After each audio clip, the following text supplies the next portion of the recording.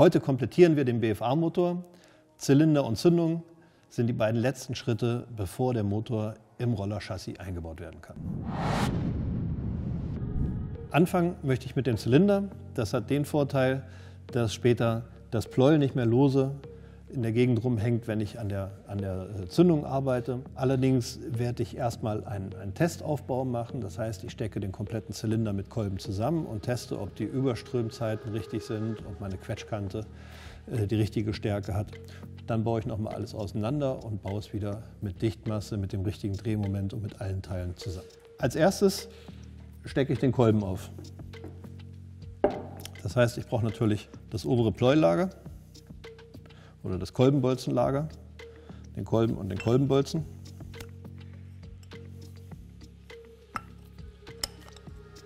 Die Sicherungsclips mache ich noch nicht, äh, noch nicht rein, weil ich noch nicht weiß, ob ich den Kolben noch mal abnehmen möchte oder irgendwas ändern möchte. Dann kommt als nächstes der Zylinder. Der Zylinder am BFA-Motor hat einige Besonderheiten. Zum Beispiel hat er einen extra verschraubten Auslass. Der wird hier mit vier Schrauben befestigt, aber das mache ich natürlich auch erst bei der Endmontage. Der Kopf des BFA hat auch eine Besonderheit oder zwei Besonderheiten. Die erste ist, äh, er wird mit einem O-Ring gedichtet. Das sorgt sehr zuverlässig dafür, äh, dass kein, keine Undichtigkeiten am Kopf entstehen können. Und vor allem wird er mit acht Schrauben fixiert. Also das sorgt für eine besonders gleichmäßige und äh, zuverlässige Abdichtungszylinderkopfes. Damit ich den Zylinder nach unten zum Motorgehäuse abdichte, brauche ich eine, eine Papierdichtung. In jedem Zylinderkit sind zwei Dichtungen enthalten. Eine mit ungefähr 0,15 mm äh, Stärke und eine mit 0,3 mm Stärke. Für den ersten Test nehme ich als erstes die mit 0,3 mm Stärke und schaue mal, wo die Messwerte dann liegen. Das geht beim BF auch recht schön und leicht und die Dichtung hat auf Anhieb auch die richtige Form mit den Überströmkanälen. Jetzt kann ich als nächstes den Zylinder aufstecken. Als erstes schrauben wir jetzt den äh, Zylinder am Motorgehäuse fest. Da reichen im Prinzip zwei Muttern, da ich ja nur testen will, ob alle Maße stimmen. Verschraubt wird der BFA-Motor mit diesen speziellen Muttern, mit einem, einem Bund, äh, mit einem Achtergewinde und einer Zehner Schlüsselweite. Am besten ihr nutzt dazu eine einen kleinen Steckschlüssel, damit er besser auf die Mutter und zwischen die Kühlrippen kommt. Und die Muttern haben auch den Vorteil, dass sie selbstsichernd sind, was beim Probeverbau ein Nachteil ist.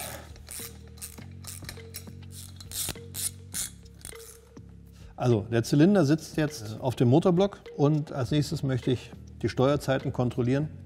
Zum Messen der Steuerzeiten verwendet man am besten eine Gradscheibe, dann einen Adapter, um die Gradscheibe auf der Kurbelwelle zu befestigen. Und dann haben wir noch unser Zeigersystem. Das kann man sehr einfach am Motorgehäuse befestigen. Aber wie das genau funktioniert, zeige ich euch jetzt. Als erstes drehe ich den Adapter auf die Kurbelwelle. Das muss nur handfest sein. Dann kommt meine Gradscheibe. Und als letztes kommt das Zeigersystem. Das kann ich auf verschiedenen, verschiedenen Gewinden befestigen. Zum Beispiel, wenn ich das äh, auf einem Lambretta-Gehäuse verwende oder hier, äh, wie in dem Fall für Vespa. Dann habe ich hier einen, einen Zeiger, der kann auf diesen Bolzen gesteckt werden.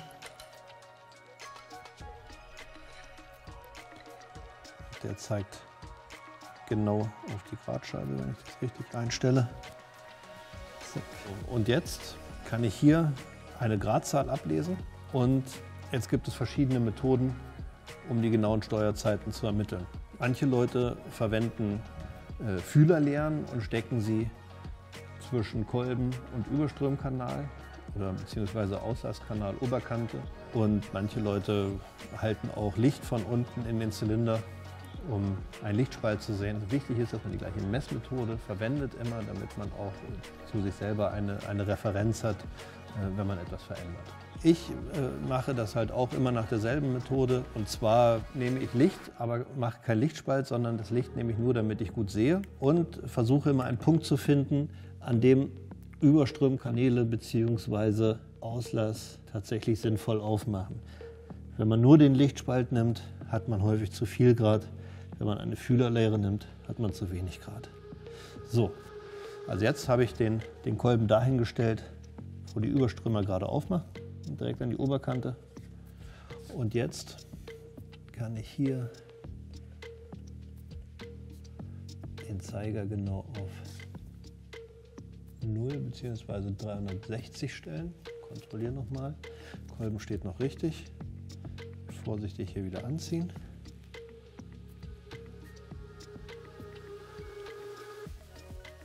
Und jetzt drehe ich den Kolben über den unteren Todpunkt.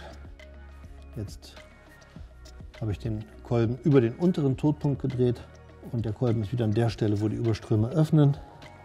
Wie man sieht, bei 360 Grad habe ich angefangen. Jetzt habe ich gemessen 240, 235, 234, so ungefähr dazwischen steht, das, äh, steht der Zeiger. Also 360 minus 235 ergibt 125 Grad. Das ist im Prinzip exakt die Steuerzeit, die der BFA-Zylinder auch serienmäßig haben soll. Ich bin ungefähr ein halbes Grad drüber, das liegt locker, locker in der Messgenauigkeit. Okay, jetzt mache ich das gleiche nochmal für den Auslass. Stelle ich wieder die Scheibe auf 0. Kontrolliere nochmal, ob sich nichts bewegt hat. Nein. Und jetzt fange ich wieder an zu drehen.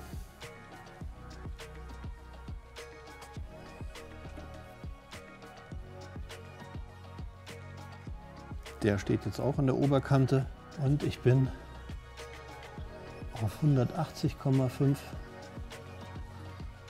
oder beziehungsweise 179,5 natürlich. 360 minus 179,5 Grad, also 180,5. Das halbe Grad fällt locker unter die Messgenauigkeit. 180 Grad ist exakt das, was BFA im Auslieferungszustand für den Zylinder vorgibt und genau diese Zeit haben wir hier auch. Als nächstes möchte ich noch messen, ob meine Quetschkante noch stimmt. Das bedeutet die Distanz zwischen Kolben und dem Zylinderkopf im oberen Todpunkt. Und um das zu machen, verwende ich einen einfachen Trick. Ich nehme Lötzinn, lege den quer in den, äh, in den Zylinder, verschraube den Zylinderkopf und drehe den Zylinder einmal über den oberen Todpunkt und dann kann ich an dem Lötzinn genau nachmessen mit einem Messschieber, wie groß die Quetschkante ist. Ich gehe davon aus, dass hier ungefähr 1,7 mm Quetschkante entstehen soll. Deswegen bin ich mal optimistisch und nehme 2 mm Lötzinn und lege den einmal quer in den Zylinder.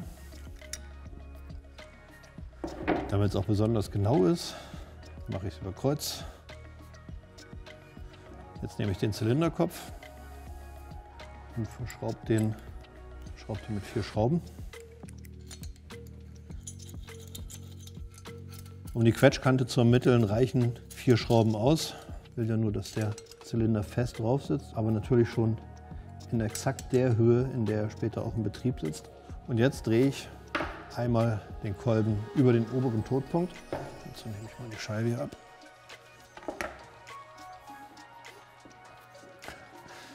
Schon ein schlechtes Zeichen. Anscheinend wird das 2 mm Lötzinn nicht, nicht gestaucht.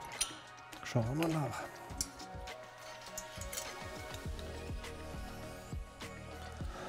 So, und wie wir sehen können, sehen wir nichts. Die Quetschkante war jetzt ähm, eigentlich im nicht messbaren Bereich mit dem 2 mm Lötzinn. Ich konnte nicht irgendwie sinnvoll irgendein Messergebnis herausfinden.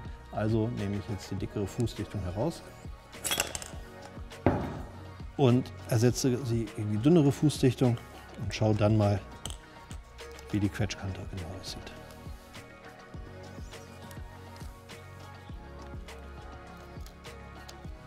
Das sind zwar nur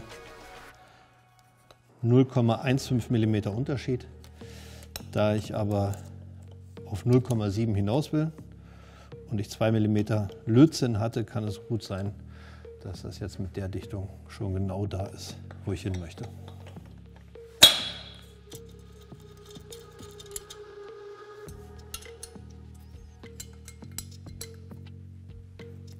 Ich drehe durch, ne? Ah, jetzt doch. Jetzt geht's. Zylinderkopf ist abgenommen. Und jetzt kann ich am Lötzinn messen, wie groß die Quetschkante ist. 1,7, 1,8, 1,7, 1,7. Also ich messe von vier Enden dreimal 1,7, einmal 1,8. 1,7 ist die richtige Quetschkante und äh, der 1,8, das ist wahrscheinlich ein Messfehler. Also sitzt der Zylinder jetzt genau da, wo ich ihn haben möchte. Die Steuerzeiten stimmen, die Quetschkante ist auch genau richtig. Das bedeutet, jetzt nehme ich nochmal den Zylinder ab und baue nochmal alles richtig schön zusammen, wie es auch später sein soll. Den Zylinder habe ich nochmal gezogen. Jetzt wird alles äh, nochmal vernünftig zusammengebaut. Das heißt mit Sicherungsring für den Kolben, mit Dichtmasse, mit der richtigen Dichtung. Natürlich fange ich als erstes damit an, den Auslass anzuschrauben. Ein bisschen Dichtmasse drauf. Der Auslassstutz wird ohne Dichtung geliefert, was aber auch okay ist. Den kann man schön mit Silikon, Dichtmasse, High Temperature AT heißt es bei Dürko zum Beispiel. Äh, hier heißt es Spezial 250. Bei Wirt kann man das sehr gut zusammenschrauben und es bleibt dann auch dicht.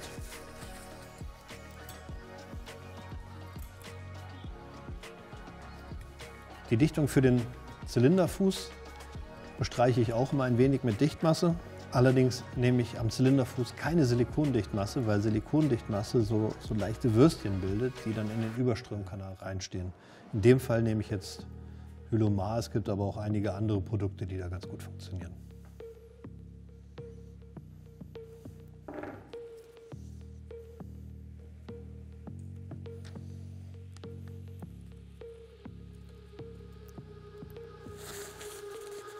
So,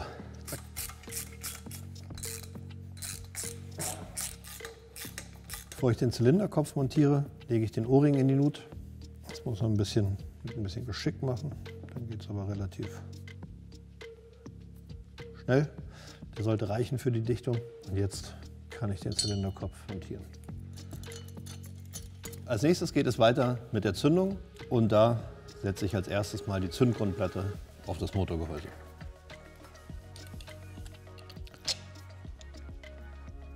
Richte die Zündgrundplatte erstmal grob aus.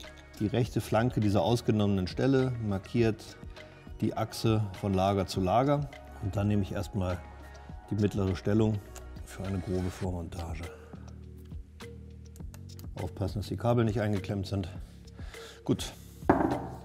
Als nächstes stecke ich das Poolrad ohne Lüfterflügel auf den Konus mit dem Halbmondkeil. Dann ist es gesichert und ich kann es drehen.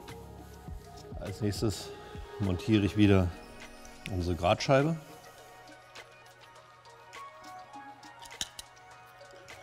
Und den Zeiger. Zack. Als nächstes brauche ich dieses Teil, einen Kolbenstopper. Den schraube ich oben in das Kerzenloch. Dadurch wird der Kolben blockiert und davon abgehalten, über den oberen Totpunkt zu drehen. Das heißt, ich drehe ihn jetzt einmal im Uhrzeigersinn gegen den Kolbenstopper und stelle jetzt die Gradscheibe hier am Zeiger auf 0. Jetzt drehe ich einmal komplett in die andere Richtung, bis der Kolben wieder gegen den Kolbenstopper läuft. Jetzt lese ich den Wert hier ab, der auf dem Zeiger angezeigt wird und das sind 298 Grad. Also bedeutet das eine Differenz auf 360 Grad von 31 Grad.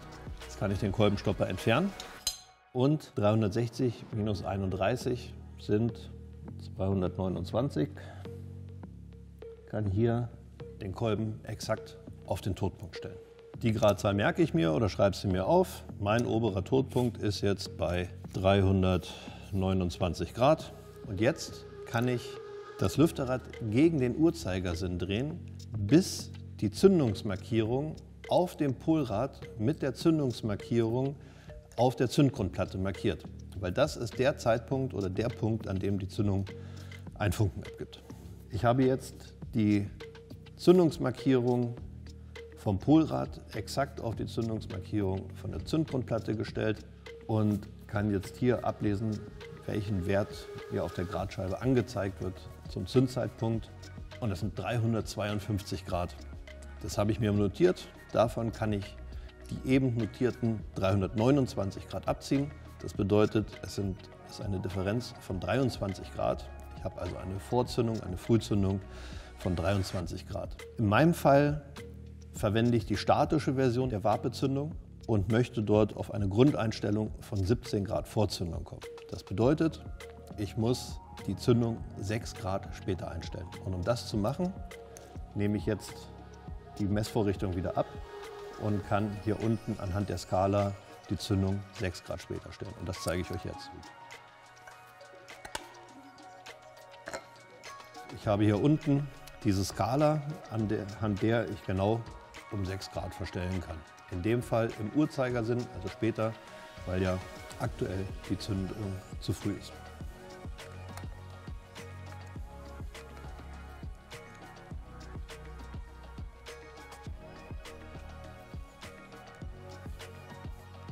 So, fertig.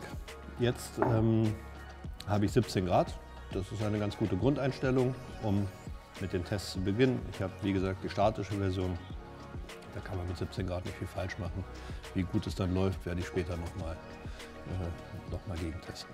Als nächstes montiere ich Polrad und Lüfterflügel. Was ich heute nicht montiere, ist die Zündspule, weil die in meinem Fall am Rollerchassis verschraubt wird und nicht am Motor. Aber jetzt mache ich erstmal die letzten Teile komplett. Als nächstes montiere ich den Lüfter. Der ist bei der Ausführung für den 306 BFA Motor hinten ausgenommen. Am besten die Originalschrauben verwenden. Die sind äh, schon serienmäßig mit ein wenig Schraubensicherung versehen. Und so kann man das kann man den Lüfter auf dem Polrad sicher und dauerhaft verbinden.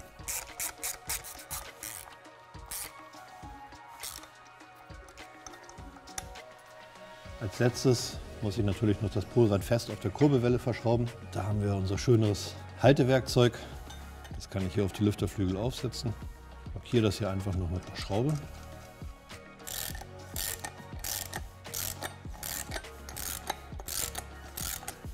So, der Motor ist im Prinzip fertig. Es sind alle Teile beieinander. Was noch fehlt, ist die Schaltraste, Vergaser, Zündspule, Auspuff.